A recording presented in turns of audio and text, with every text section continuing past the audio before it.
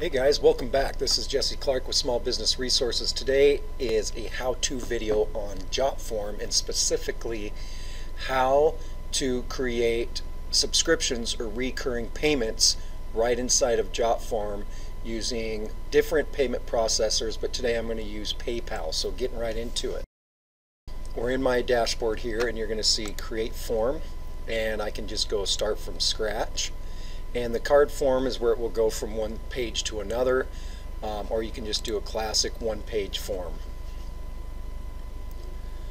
So when you're in here you're going to just go over here to add form element. You're going to click on payments and you can choose different um, payment processors. But today I just want to go through I don't believe it's available in PayPal business because if you put this in here and you go over here to select um, or payment type you can see, collect donations but you cannot have the option for subscriptions.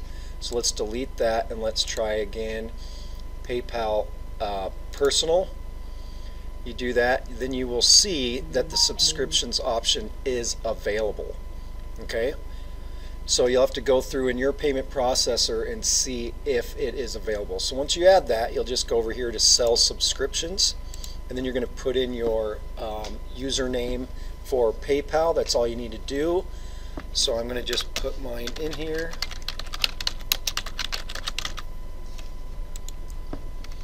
And you can do additional gateway um, settings. You can go in here and play around with those things, um, etc. Add your logo, whatever you want. But I'm just going to go to continue. And first thing I'm going to do is get create a new subscription. So let's let's say we want to do this weekly, and I'm just going to go 25 bucks a week. Okay, put in a uh, description. You can go um, again here. You can choose how often you want this to your your client to be billed. So again, I'm just going to go weekly, and then number of payments um, user selected. We're, I'm going to show you what that looks like. Okay, you can go to variable price. Okay, the form requires a form calculation for that, so I'm going to turn that off.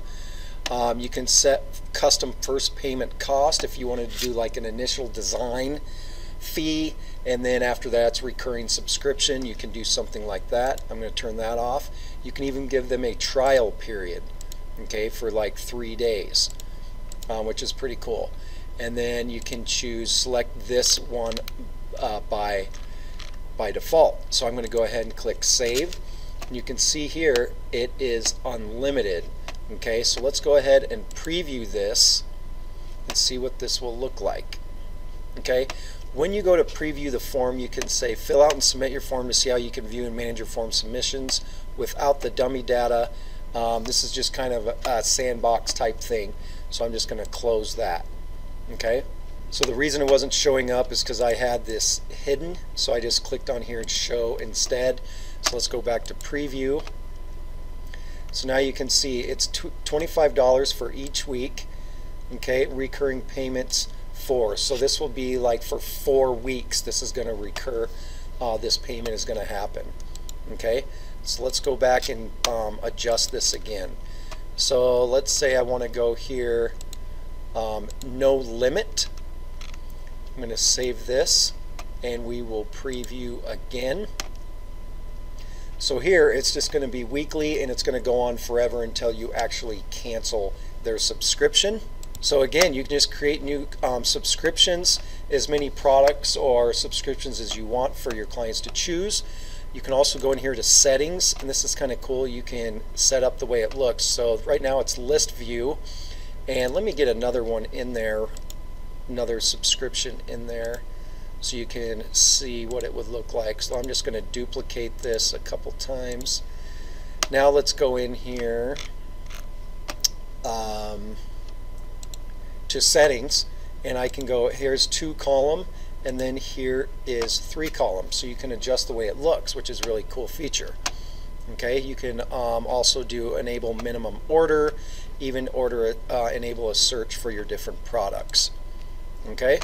And of course in Jotform you can go in here and you can click on the form designer color styles.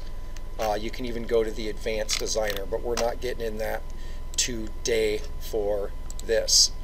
Okay, let's go back and you can also add coupons to this.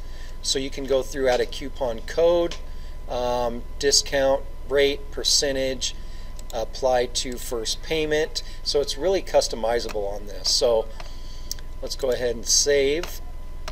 And there you can see a discount coupon code. So this is a great new feature and if you're looking for a really, if you already have a Jot form or if you don't have a Jot form, go in there, play around with this and it's a great way to um, set up reoccurring or subscription payments without having to go through a third party.